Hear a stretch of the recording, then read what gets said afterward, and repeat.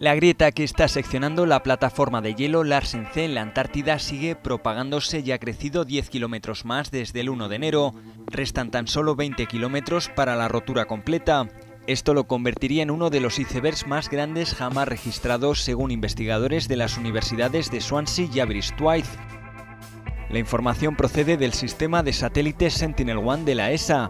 Sus datos indican que la fisura ahora se extiende por unos 175 kilómetros pero el tiempo que pasará antes de que el bloque de 5.000 kilómetros cuadrados finalmente se libere es solo una suposición.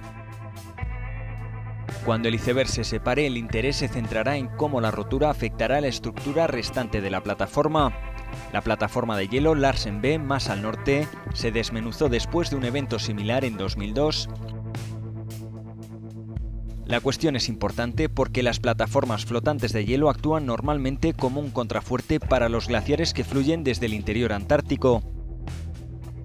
En las últimas décadas, una docena de grandes plataformas de hielo se han desintegrado retrocediendo considerablemente o perdiendo un volumen considerable.